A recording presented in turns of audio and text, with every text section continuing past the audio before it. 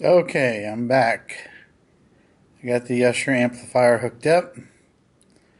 I um, had it hooked up once before and had a complete video on YouTube, but I had to remove the tail end of it.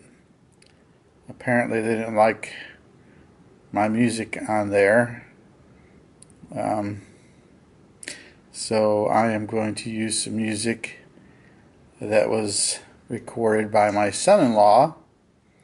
So I'm sure there will not be any copyright problems, or there better not be any copyright problems with me using his music to demonstrate the amplifier. Um, as you can see, we have it all hooked up now.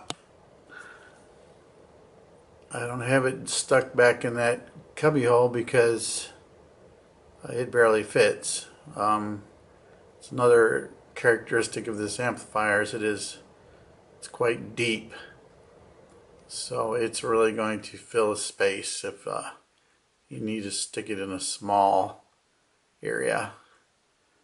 Uh, there's the Thoebe turned on and instead of using the uh, cheapo deluxe CD player we're going to use a not so cheapo. Deluxe Cambridge audio DAC Magic which has been hooked up to my computer.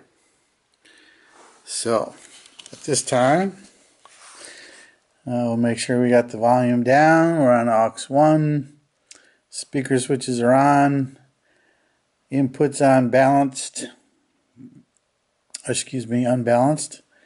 And uh, power levels are in the middle I'll go ahead and power this baby up. There you can hear the power relays clicking on telling me that everything's fine with the amplifier. And I'm going to click play on the computer. And I'm actually going to wait a few seconds because they do use a dirty word in the beginning of this song and we don't want to have any dirty words recorded for YouTube and I'll probably get jacked up for uh, having explicit language on my video. So I think we're past the dirty word part. So go ahead and turn up the volume